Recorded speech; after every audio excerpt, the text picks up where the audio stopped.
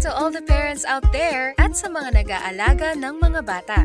Alam nyo ba na ang paglalaro ng mga bata ay hindi lang simpleng paglalaro? Nakatutulong ito sa pagdevelop ng kanilang katawan, isipan at emosyon.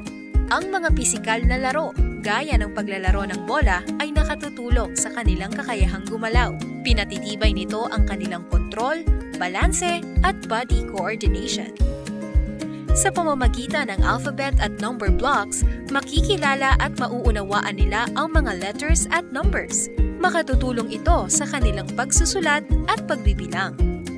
Ang pagbasa ng mga pambatang libro ay nagde-develop ng kanilang kakayahang magsalita, makipag-usap at kumilala ng mga bagay at pangyayari.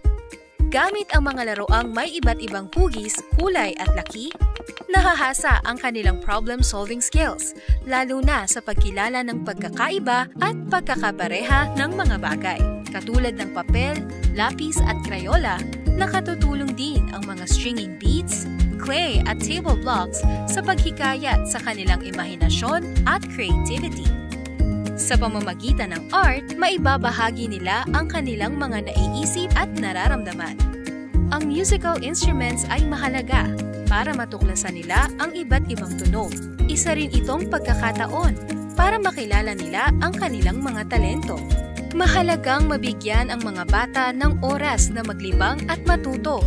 Dito nila natutuklasan ang kanilang mga kakayahan at lalo pang napauunlad ito.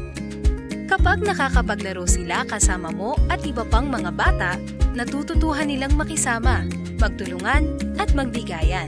Kahit na simple lang ang ating laruan at libangan, malaki ang naitutulong nito sa paglaki ng ating mga anak.